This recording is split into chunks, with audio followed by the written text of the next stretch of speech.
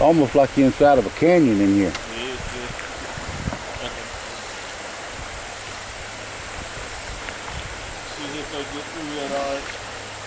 Hey, there's a, a umbrella.